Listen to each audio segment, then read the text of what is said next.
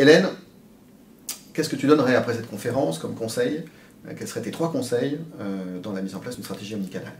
Alors mon premier conseil, ça serait effectivement d'identifier en amont ce qu'on cherche, parce que l'omnicanal, ça implique beaucoup de données, notamment tout ce qui est sur le digital, et on a un risque, c'est de se perdre dans ces données et de ne pas savoir par quel bout le prendre. Donc je dirais effectivement identifier euh, qu'est-ce qu'on voudrait améliorer et du coup se concentrer là-dessus.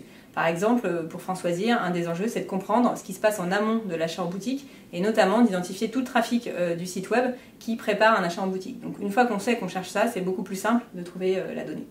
Alors deuxième conseil, qu'est-ce que tu donnerais comme deuxième conseil sur cette partie omnicanal alors, je dirais ne pas perdre de vue l'objectif in fine qui est penser client, mhm. c'est-à-dire se dire qu'est-ce que je vais pouvoir améliorer en ayant cette connaissance de l'omnicanal dans l'expérience client et du coup adapter euh, mes points de contact, donc le site web, la boutique et tous les points de contact, euh, que ce soit l'email, euh, etc., en fonction de ces apprentissages. Très bien.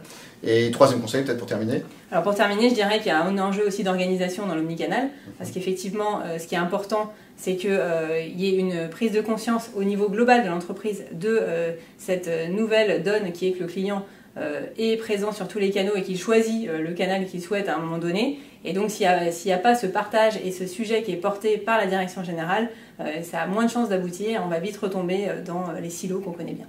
Très bien, merci. Parfait.